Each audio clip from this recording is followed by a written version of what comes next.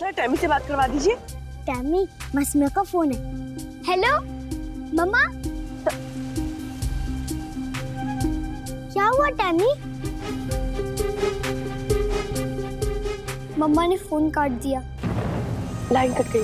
तमन्ना से बात नहीं हो पाई। कोई बात नहीं।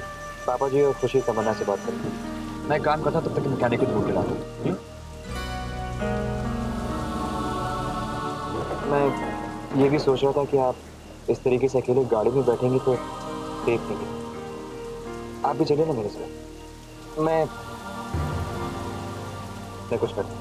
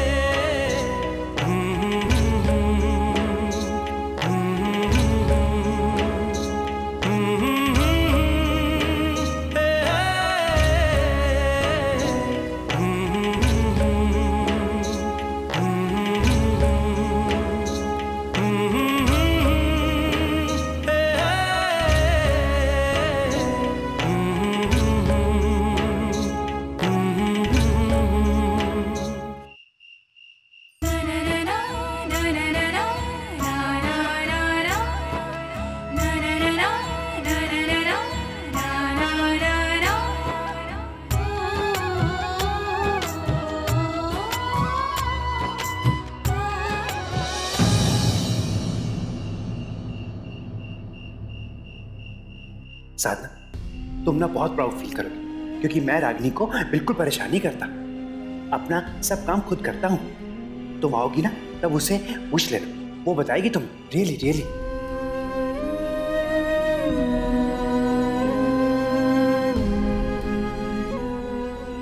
साधना, मैं तुम्हें बहुत बहुत बहुत बहुत बहुत मिस करता।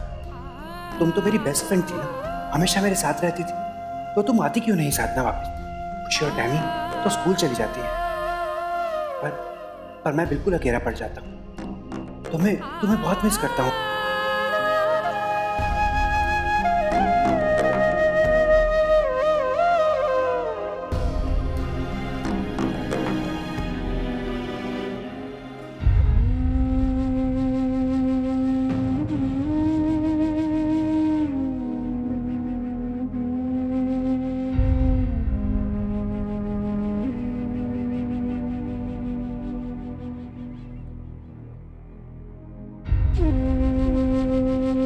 मालिक, कोई सच्चाई को देखे ना देखे, लेकिन तुम्हारी ये माँ समझ सकती है कि तुम कितने अकेले पड़ गए हो।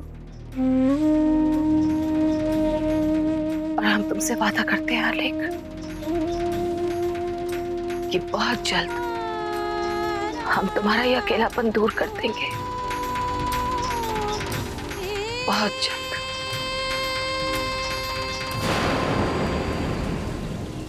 एक गैरेज है, लेकिन बहुत दूर है यहाँ से।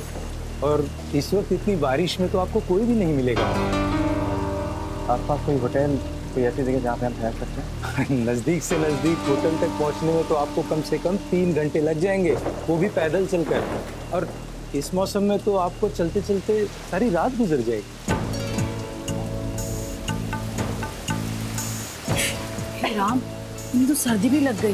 दोनों कितने भीग गए हैं। चलिए एक काम कीजिए यहीं कपड़े बदल लीजिए और आज की रात यहीं रुक जाइए। यही ठीक होगा आपके लिए। क्यों जी? बता क्या रही हो इन्हें अंदर लेकर जाओ। अब इसके अलावा आपके पास कोई चारा नहीं है बाबू जी वरना आपकी पत्नी की तबीयत खराब हो जाएगी। आइए अंदर। आइए।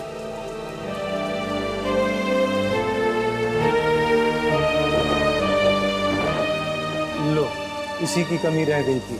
बिजली चली गई है। अब सारी रात नहीं आएगी।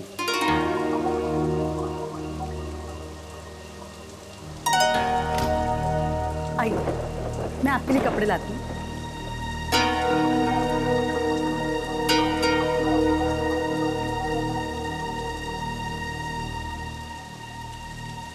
ये लीजिए आपके ये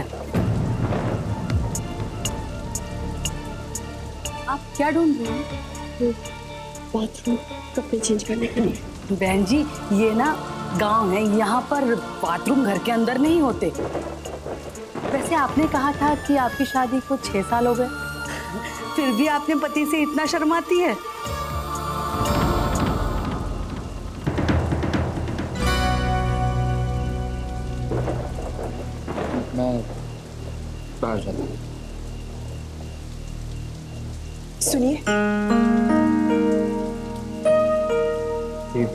रहने दीजिए। वरना वो लोग क्या सोचेंगे?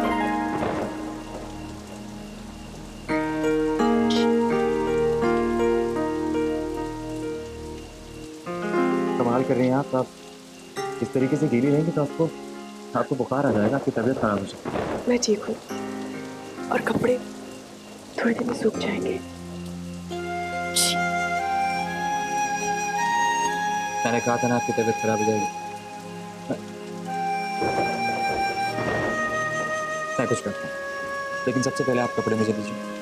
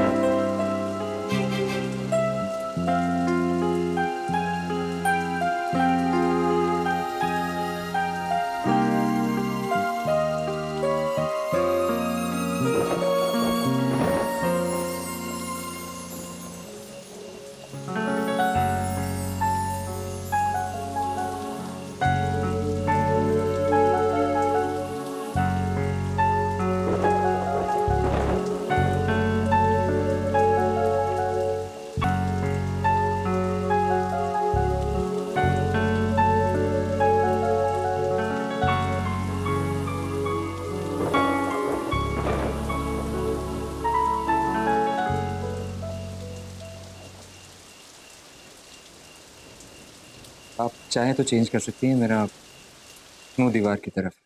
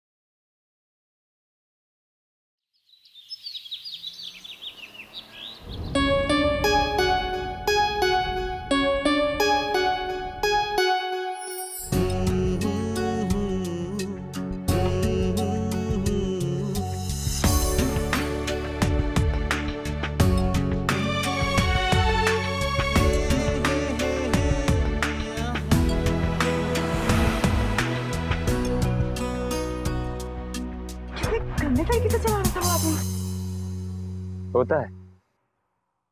कभी कभी आदमी का ध्यान हट जाता है। पता नहीं मुझे गाड़ी चलाने नहीं आती ना इसलिए। I'm sorry. चलें।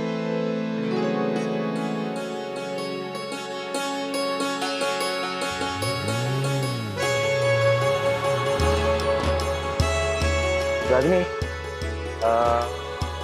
साइड व्यू एडजस्ट कर सकती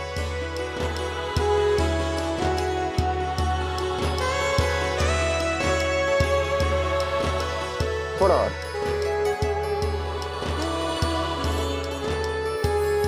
अभी भी नहीं होगा।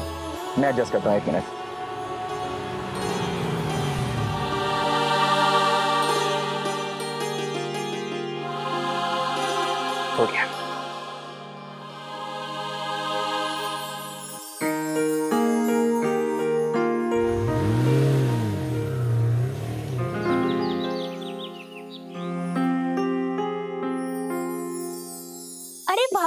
आप आ गई?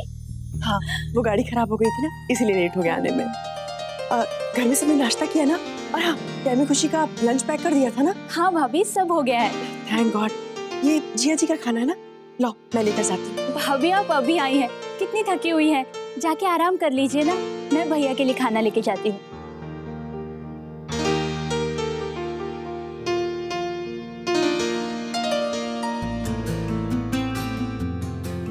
Okay I'm sorry. हाँ ये क्या है?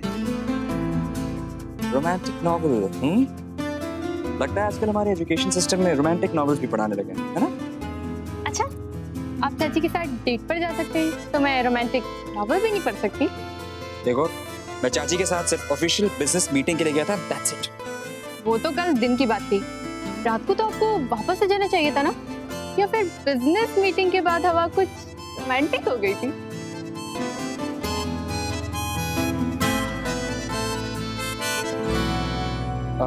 गुनी बस बस चाचू। ये गाड़ी खराब होने के बहाने कम से कम आप मुझे तो मत दीजिए। मैं नहीं आने वाली इन बहानों में। गुनी तुम ना तुम ना बड़ी बदमाश हो गई हो। बट सीरियसली चाचू क्या फैंटास्टिक जोड़ी आप दोनों की। आई I मीन mean, आप अपने प्यार का दिखावा नहीं करते बट ये जो एक दूसरे के लिए छोटी छोटी खुशियाँ बांटते हो ना इन्हीं में तो प्यार झलकता है। और फिर जब आप और चाची एक दूसरे की तरफ़ देखते हो आपकी आँखों से प्यार झलकता है। बिल्कुल मेरे रोमांटिक नॉवल की तरह। वो चाचू आई विश कि मुझे भी आपके जैसा लाइफ पार्टनर मिल जाए। आज के लिए वैसे तुमने काफ़ी मक्खन लगा दिया। लेकिन फिर भी मैं सोच रहा हूँ कि इसके बदले मैं तुम्हारे लिए क्या कर सकता हूँ। अभी के लिए तो आप मुझे लाइब्रेरी ड्रॉप कर दीजिए। Brilliant idea. मैं काम करता हूँ मैं फटाफट जाता हूँ और जाके तैयार होता हूँ। बशर्ते तुम कहीं जाने के लिए लेट ना हो रही तुम्हारा कोई इंतज़ार ना कर रहा हो। बिल्कुल वैसे ही जैसे तुम्हारी इन रोमांटिक नॉवेल्स में लोग करते हैं। नहीं ना। हाउ सैड ना। आलेख भैया आपका खाना।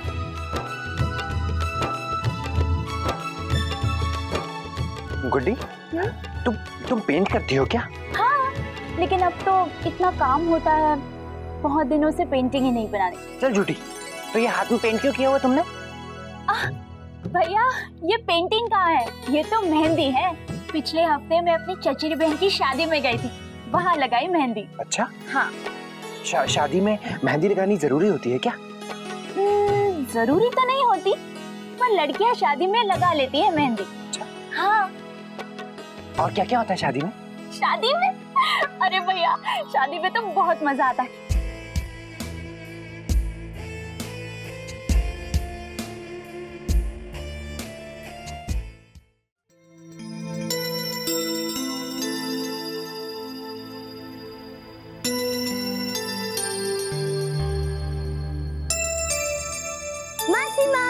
मैंने आप दोनों को बहुत मिस किया।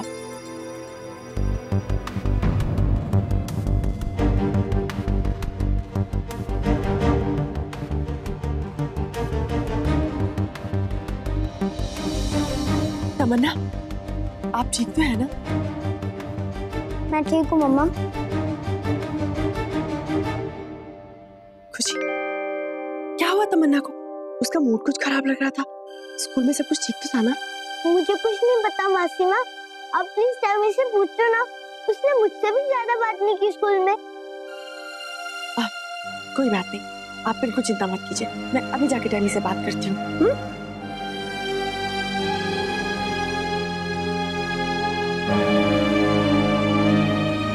तमन्ना? क्या हुआ? आप मुझसे नाराज़ हो? कल रात हम लौट नहीं पाए इसलिए? वो ना बहुत ज़ोर से बारिश हो रही थी। फिर रास्ते में गाड़ी भी खराब हो गई। सॉरी ठीक है खुशी ने बताया था मुझे। हाँ उसने बताया होगा आपको। बहुत मुश्किल से उससे ही बात हो पाई थी मेरी।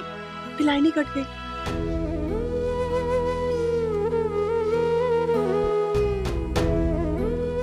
तमन्ना? क्या हुआ? कोई प्रॉब्लम है? कहीं टीचर ने तो नहीं डांटा स्कूल में? या फिर या फिर किसी से लड़ाई तो नहीं हुई ना आपकी आप पूरी रात सोई नहीं अच्छे से? तो फिर कहीं टैमी के पेट में दर्द तो नहीं हो रहा है ना? तो फिर मम्मा का बच्चा मम्मा से अच्छे से बात क्यों नहीं कर रहा है? क्यों? आ, इसका मतलब है जब मेरे बच्चे के पेट में दर्द नहीं हो रहा है तो पिज्जा तो आसानी से खा सकता है। क्योंकि मेरे बच्चे को पिज्जा बहुत बहुत बहुत पसंद है और मम्मा ने पिज्जा अपने हाथ से बनाया है। मुझे कुछ नहीं खाना है मम्मा। मुझे नींद आ रही है प्लीज़।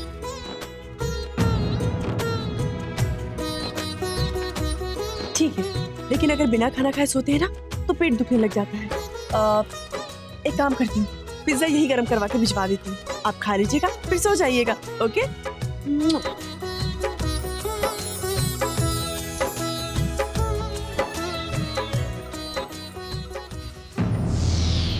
बड़ी मैम सब तो घर पे नहीं है पर रागिनी भाभी है।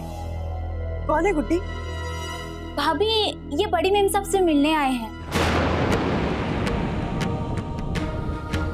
एक काम करो तुम पिज्जा ले जाके बच्चों को खिला दो उनके रूम में मैं इनसे बात करती हूँ। जी भाभी। नमस्ते जी। नमस्ते। जी मैं वो कुछ रिश्ते लेकर आया था। रिश्ते? जी। किसने बुलाया आपको? जी वसुंधरा जी ने। किसके रिश्ते के लिए? मैडम के बड़े बेटे आलेख जी के लिए। नहीं नहीं मेरे ख्याल से आपको कुछ गलत फहमी हुई है। हम मालिक जी के लिए भी रिश्ता नहीं देख रहे हैं और वैसे भी। मम्मी जी इस वक्त घर में नहीं। लेकिन उन्होंने मुझसे खुद कहा था कि कुछ अच्छे रिश्ते हो तो लेकर आओ। पर हो सकता है शायद मैंने टाइम सुनने में गलती कर दी हो जी। कोई नहीं जी अगर वो घर पर नहीं है तो मैं उनका इंतज़ार कर लूँगा। एक मिनट। मैं वसुंधरा जी की बहू और इसी घर में रहती हूँ। अगर मेरे जेठ जी के रिश्ते की बात चलती तो मुझे ज़रूर पता होता। समझ गया ना कि मैं आपसे क्या कहना चाहती हूँ? नमस्ते। नमस्ते।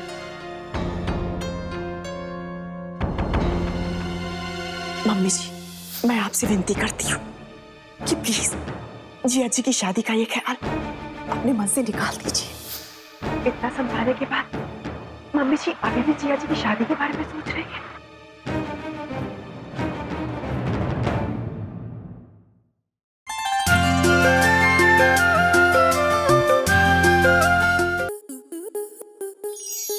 To enjoy more such amazing videos, subscribe to our YouTube channel.